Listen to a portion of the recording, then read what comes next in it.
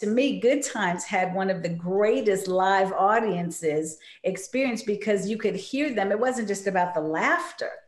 Remember when things like when my mama was on there and you was like, ooh, yeah.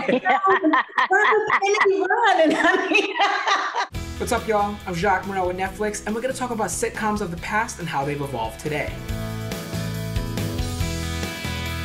Lucille Ball, Desi Arnaz created that that model because he kept saying she's better in front of an audience.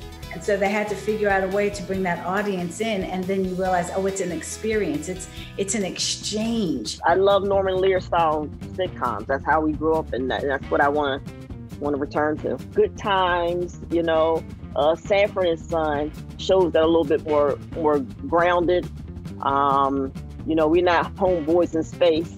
Uh, you know. Flex gonna kill us. For me, the Jeffersons, I didn't really watch it growing up because we were filming at the same studio.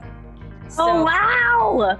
So to me, my point of reference with the Jeffersons is going through the hallways and seeing them in makeup and hair. I didn't really get to them until I was a bit older, actually, and remember like when they went to Hawaii, like oh my gosh. when did it first like set in on you when you were younger that what you were that you and your sister's role on Sister Sister was so impactful? The Nickelodeon Kids Choice Awards. When I say there were so many kids screaming, just saying, Oh my gosh, I love you. We love your show. Like it was just mind blown. Tamera and I, we like looked at each other and we're like, wow, like people are watching us. I'm so proud of you, lady. Aww. I'm so proud. Don't make me cry, Kim. Listen, listen, your makeup artist is right there. I saw that.